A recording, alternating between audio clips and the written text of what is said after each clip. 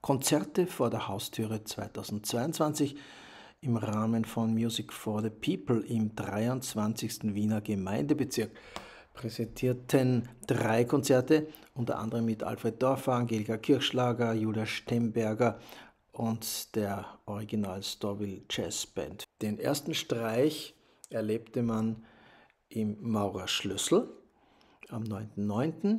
Hier gab es das witzige Klassikprogramm oder man kann es als, als äh, Klassik und Kabarett oder Klassik und Comicprogramm bezeichnen, Der Pudel, mit dem äh, halb Liederabend und halb Kabarett die Leute glänzend unterhalten wurden.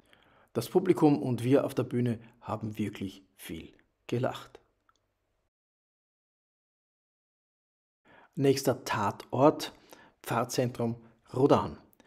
Hier haben wir am, am Sonntagnachmittag ein Konzert gemacht, das auch für Kinder gedacht war.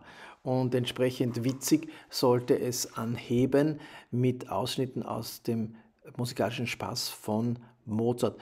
Mozart, der hier bewusst falsche Töne hinein komponiert hat. Danach gab es die erste musikalische Geschichte Ferdinand der Stier, erzählt von Julia Stemberger, Vokal und mit Christian Scholl an der Solovioline.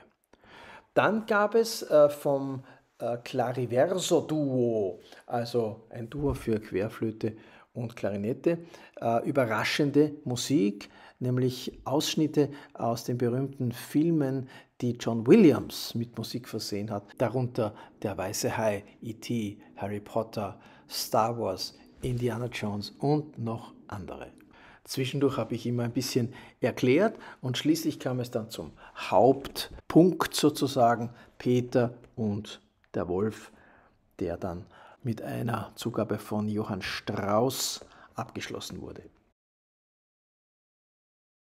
Ja, und dann gab es einen beschwingten Ausklang in der VHS Erla. Die haben einen hübschen Saal und die Original Storyville Jazz Band hat dort aufgespielt mit Franz Luttenberger Kornett, Herbert Swoboda Klarinette, Andreas Mittermeier Posaune, Matthias Barta Klavier, Arthur Udo Emsen Banjo, Martin Dremel Kontrabass, Wolfgang Dora Schlagzeug und schließlich als Gastsängerin Bettina Krenosch.